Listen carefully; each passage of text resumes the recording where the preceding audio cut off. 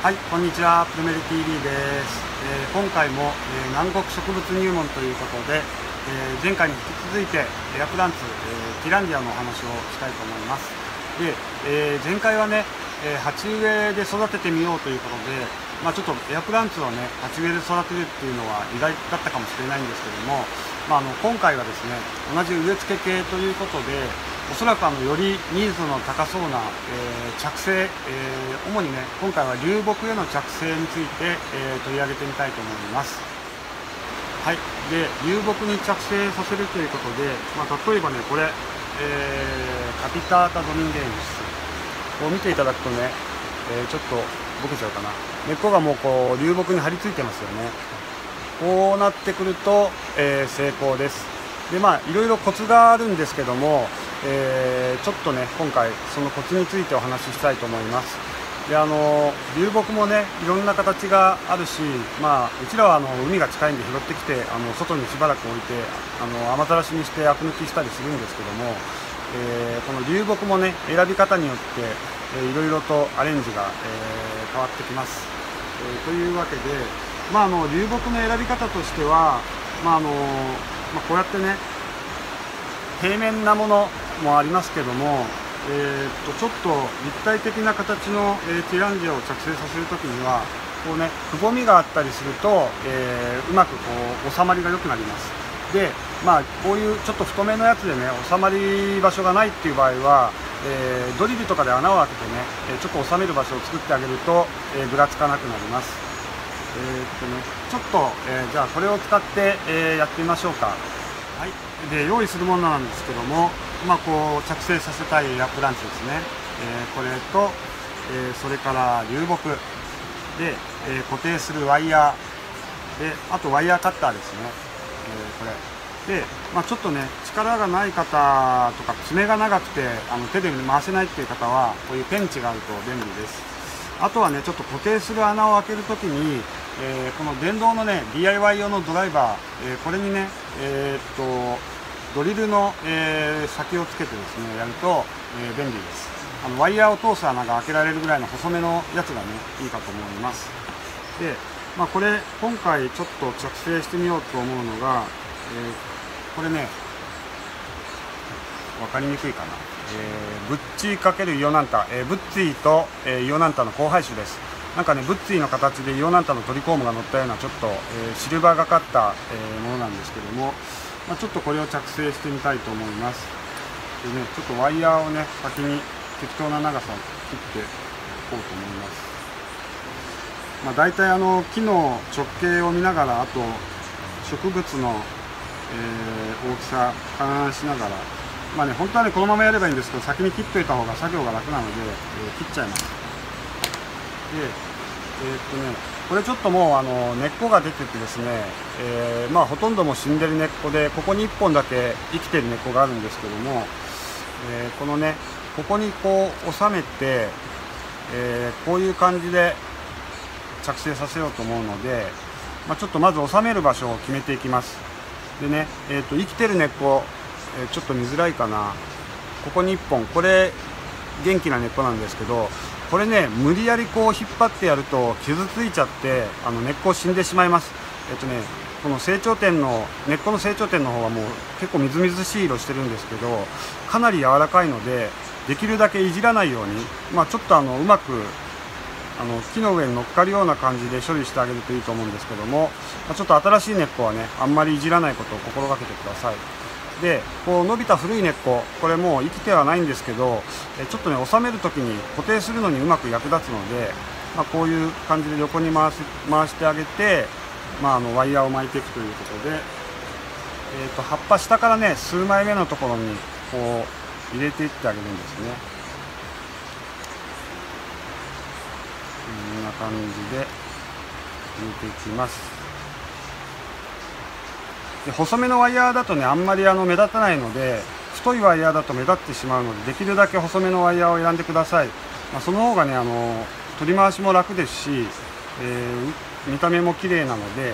ー細めのワイヤーを使うということ。でこう株をねこう締めていってまず1本1本固定すればなんとなくこうイメージが作れるので、まあ、僕はちょっとドライバーあペンチは使わずに手で固定しちゃいますけど、まあ、こんな感じで巻いていってですね。うまくはまるところを探してみてください。必ずどこかはまりますので。それでまず、えー、固定が終わりました。でねここ根っこをこう巻いてきてここにあのワイヤーが入ってるんですね。それでこう押さえてるんですけどもまあちょっとその時に、えー、1点だとどうしても外れやすいので2点止めぐらいにしてあげるといいかと思います。でね、えーと、ここに今1本新しい根っこがあるんですけども、まあ、これはそーっとねこう収めてあげます。あんまり強引にやるともうこれ根っこがねダメになっちゃうのでそーっと収まるところに誘引をしてあげるんですけどあまり強引に誘引はしないようにしてください。ちょっと気に触れてれば張り付いていきますので、まあ、くれぐれも強引には取り扱わないということ。であとね根っこが出るのが、えー、分かりにくいかな。これ一番底ですけどこの周辺にちょっとね保湿性のあるもの、えー、水苔とかこういうね、えー、杉の繊維いや杉じゃない、えココナッツの繊維使ってあげるといいと思います。でねあくまでもほんの少し添える感じ。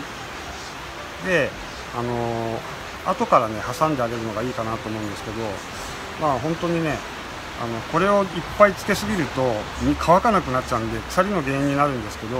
少し入れてあげると、えー、着生が早くなります。これね後乗せでこういくのがいいのかなというふうに思うんですけど先に挟み込んじゃうとね取れなくなっちゃうんですよね。なので後からこう加減ができるような感じにしてあげてやるといいと思います。ちょっとこれあの根っこがねもう収まりがもうちょっとあるんで下にもう1個ワイヤーをつけてありますかね。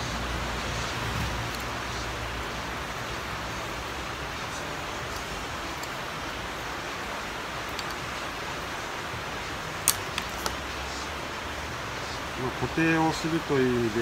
もう一重ちょっと下の方をめがけて入れていってみようと思います。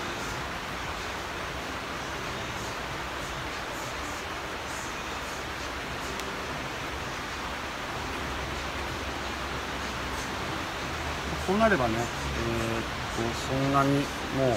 うぐらつかなくなって外れにくくなるのでちょっとねほんの少しです。あの保湿でこう水苔だとか杉の繊維を入れるのは、まあ、こんな感じでえー、見えるかな？ちょっとボケちゃいますかね。ほんの少しだけここに、えー、ココナッツの、えー、ファイバーが入ってますけども、まあ、これで、えあとはね水をあげる時に、え流木も湿らせてあげるようにすると、え着生が早くなります。でその時に、えーとまあ、ちょっと私プルメリアで使ってるものなんですけど、えこのねラピッドスタートってこれ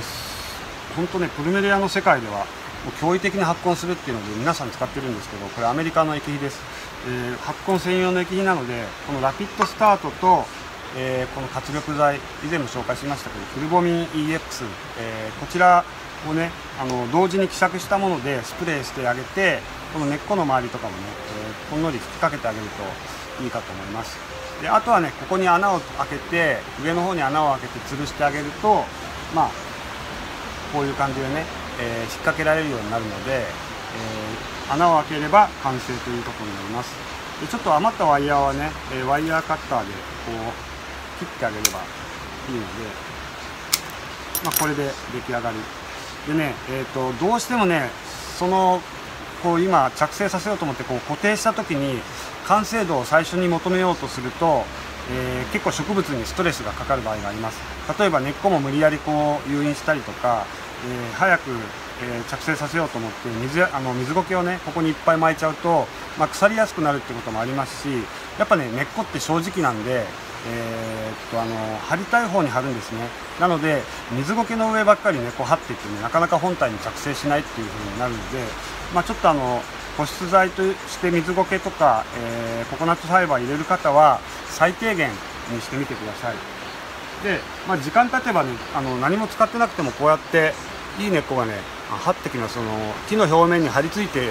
走っていくようになれば、えー、成功なので、これはねここ1箇所止めてるだけですけどこれがね今年の夏夏にやったのかな。で今もう秋ですけど結構ね早く着生してくれました。で着生すると、えー、とにかくねあの成長がすごく早くなる、えー、感じがします。やっぱねぐらつかないってこともあるしあの、まあ、安定度が増すので植物もこうストレスなく、えー、動かずに育つということで、え着生させるメリット、えは、え非常に大きいかと思います。はい。で次にねこういう平面な板、えーこれね結構使いづらいんですけどまああのこういうのでもこう吊らしてあげると結構可愛らしいんですね。でこういう場合は、えー、っとちょっとね穴を開けて固定する場所を作ってあげます。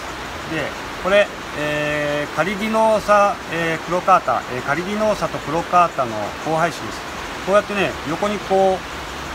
交互にね葉っぱが生えてくるんですね。これ結構可愛い感じなんですけども。これをまあ着生させてあげると意外となんかこういい感じになるのでちょっとこれやってみたいと思います。でなかなかねこれ幅も広いのでここにワイヤーを巻くと結構目立ってしまうので、まあ、そういう時はね植物をこう止めたい、えー、場所の、えー、近くに穴を開けてあげます。そしてね結構流木もねあの硬いやつだとなかなか穴開かないんでね、えー、結構時間がかかるかもしれないです。けどこうやって開きました。であともう1箇所こちらも当ててみます。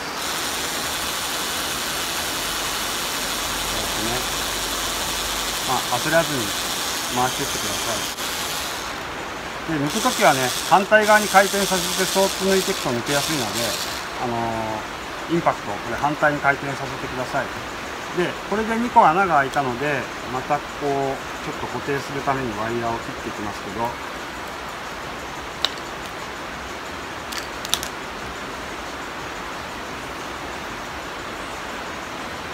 まずね開けた穴の方にこうワイヤーを両側に入れていきますね。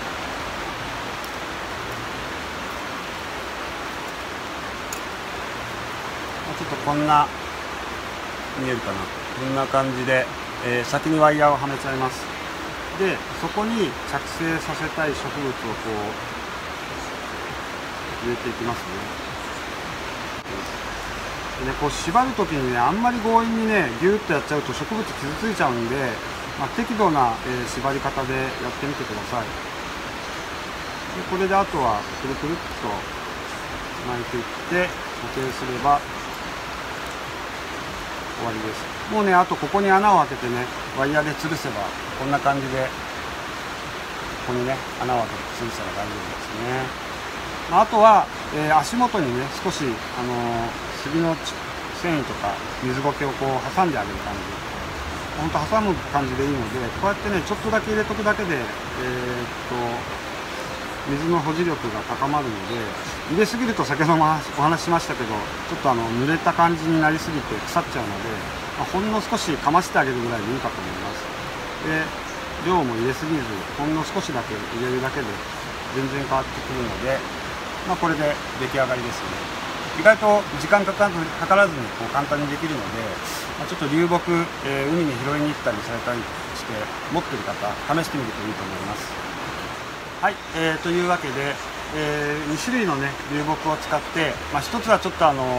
とっくりとした形の、え流木に、え着生させる方法。それからもう1つは平面のね薄い流木に、えこう固定する方法をご紹介しました。でね、本当うまくいくとね、えー、これも、えーと、い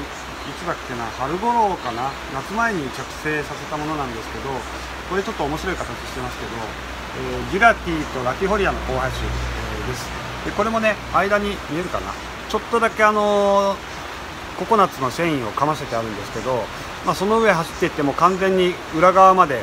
これね、裏側まで、ちょっと見づらいな、こう根っこが回ってきてます。もうねこれがねぐるぐるっと回ってきたらもうワイヤー取っちゃっても構わないぐらいなので、えー、これを、えー、目指して、え、頑張ってみてください。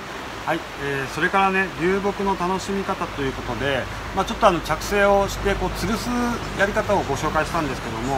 まあ、こうやってね、えー、ちょっと置物にすることもできます。ちょっとこう足が出てねポンと置けるんですけども、まあ、ちょっと、えー、流木自体にもアレンジ加えてあげると、え、ちょっと可愛らしい感じになりますね。で中にねこう昨日もお話しした軽石をちょっと引いてあげてその上にポンと乗せると下からこう水蒸気がこう出るような感じになるので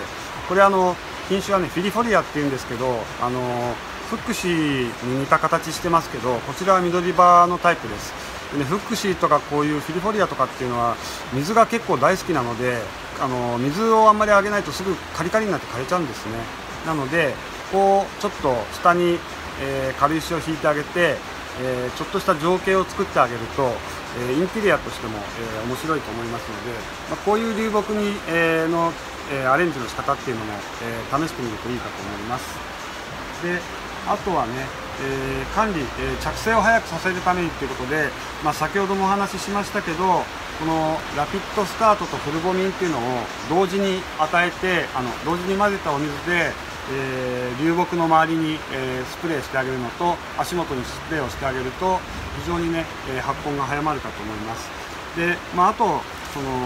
着生すると成長が良くなるんですけども、その際にね、えーと、微量要素だとか、え補給するのにこのマジカルウォーターっていうのが、まあ、2種類入ってますけどこれも本当微量要素の方向であのもちろんあの NPK っていって窒素リン酸カリも入ってるんですけども、まあ、これをね週に1回ぐらいかけてあげると、えー、いいかと思います。これねプルメリア用に作ったブレンドですけども結構ねプルメリアを育てているウェアプランツ愛好家の方は、えー、こちら、えー、使ってて非常に、え効果がいいということで意外とねあのティランディア専門でやられている方には知られてない、まあ、このラケットスタートもそうですけど基本知られてないかとは思うんですけども、え実はあのえこの辺のものがねティランディアにはよく効くということで、まあ、興味のある方は使ってみるといいかと思います、えあとはね、えそうだな。えー、流木にアレンジする時に、えー、根っこがねこうやって出てきましたと。ねこう張り始めてねこうなるとねすごく嬉しくなるんです。で嬉しくなった時に水を増やす人が多くてですねそうすると腐ります。あの適度な水やりをしていけば、えー、だんだんこうね着生していくので、えー、根っこが出始めたからといって水を増やすってことは、えー、やらないようにしてください。一番ねそこで失敗される方が多いのであくまでも、え根っこが動き始めても、え平常心で、え流行る気持ちを抑えて、え通常通りの管理をしてみてください、え特にねこうやっぱり嬉しい時っていうのはねもっと早く根っこ出ないかなとかってなるんですけども、え、絶対にそれはしないと